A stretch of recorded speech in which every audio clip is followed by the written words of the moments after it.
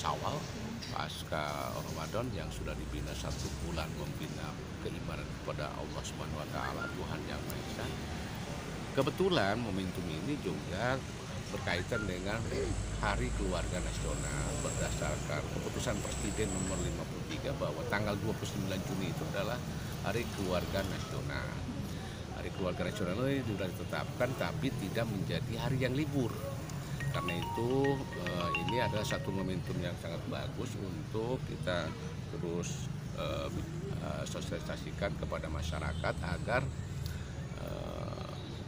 fungsi-fungsi keluarga itu terus dilakukan di keluarga-keluarga dan dirayakan pada tanggal 29 Juni setiap tahun. Tahun ini yang ke-26 dilakukan eh, peringatan Hari Keluarga Nasional karena Hari Keluarga Nasional itu atau Hari Keluarga itu adalah hari keluarga, hari milik bersama untuk tetap menjaga keharmonisan keluarga sehingga keharmonisan itu terus dijaga di dalam keluarga.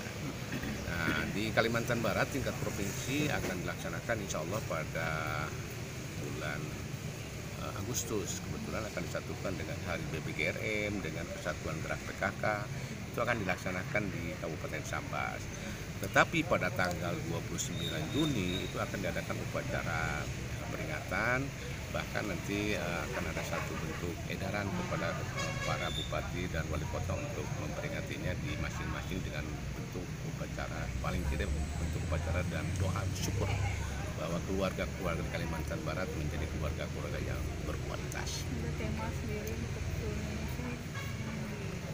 Tema yang diangkat pada tahun ini adalah eh, yang keluarga yang terencana, keluarga yang bahagia itu ditemakannya dengan tema segala sesuatu yang direncanakan akan sangat indah, keluarga milik eh, bersama, eh, keluarga eh, yang tercinta itu terus dikembangkan oleh kita.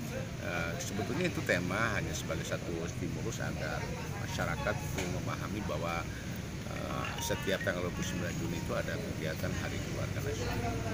Pak terkait eh, kekerasan kepada anak nih Pak?